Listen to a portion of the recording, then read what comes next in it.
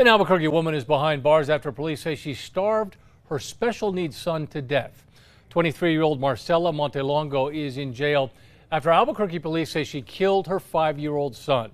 According to the criminal complaint, APD was called to Montelongo's home in July where her son was unconscious and not breathing.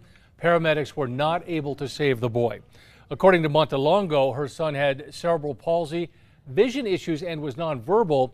An autopsy showed the boy died from starvation and dehydration due to medical neglect, and the boy weighed only 13 pounds. Yesterday in court, a judge decided to keep Montelongo in jail until her trial.